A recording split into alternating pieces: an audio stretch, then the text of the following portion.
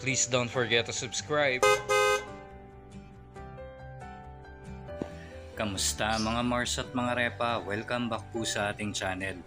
Kahapon nga po, August 15, ay formal nang lumipad si Jane De Leon bilang Darna sa National and Free TV.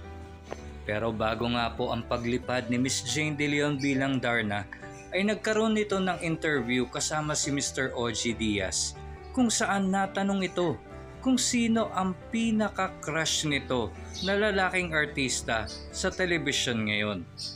Eh wala nga pong patumpik-tumpik kundi sinabi agad na si Mr. Paolo Abilino dahil bukod sa gwapo nito at galing sa pag-arte ay napakabait daw nito. Nako, Nini, Janine, ano kayang masasabi mo rito at meron yatang kaagaw kay Paolo Abilino? Pero sa mga recent interview nga ni Janine ay tila confident ito na sa kanya lamang si Paolo Abilino. O mga Mars at mga Repa, wag na natin patagalin at panoorin natin ang interview ni Miss Jane De Leon patungkol kay Paolo Abilino. Heto na po. Kahit sa mga lalaking artista, ang crush mo. Ay, naman!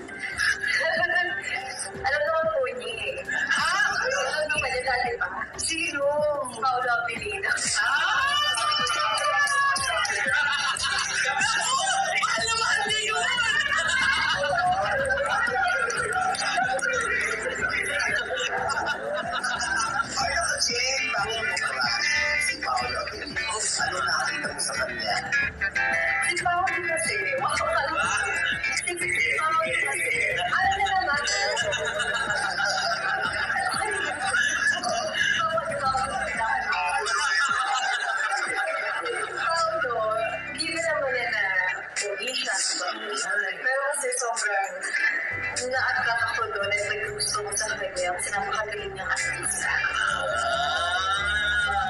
So, nandito na ba siya? Nandito na siya. Oh! Nagkaway ba kayo? Siya ang meeting man ko sa movie. Alam naman po niya. Oh, yes. Ano, actually, ano, nung sinabi mo crush mo siya,